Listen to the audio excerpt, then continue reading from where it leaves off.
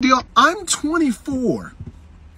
I'm 24 years old. When I was in high school, I was like, oh, by 21, I should graduate college. By 22, I'll have a stable job. 23, I'll get married. And by 24, looking to having some kids, right? The thing is, no, I'm 24 right now.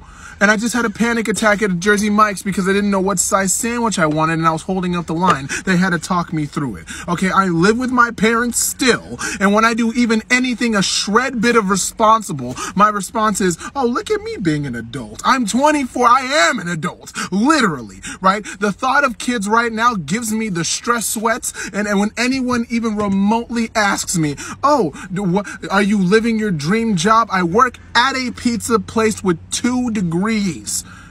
Two degrees. And I got people calling me a certified pizza boy. So clearly 24 was not how I expected, but hey, we move, I guess. I